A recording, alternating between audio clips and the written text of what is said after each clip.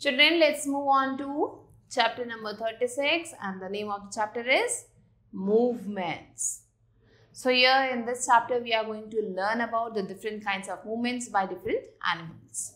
For many animals, the ability to move is essential for survival. बहुत सारे जो animals हैं उनके लिए मूव कर पर कर पाना जो बहुत ही ज़्यादा ज़रूरी है उनके सर्वाइवल के लिए तभी वो जिंदा रह सकते हैं जब वो एक जगह से दूसरी जगह मूव कर पाए match the animals listed below with their movements यहाँ पे कुछ एनिमल्स के नेम दिए गए हैं।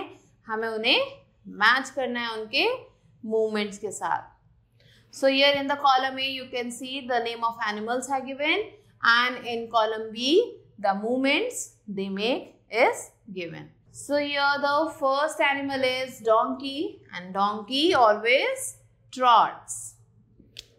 Next is lamb, lamb always frisk. Next is rabbit. Rabbit always leaps. And lion always prowls.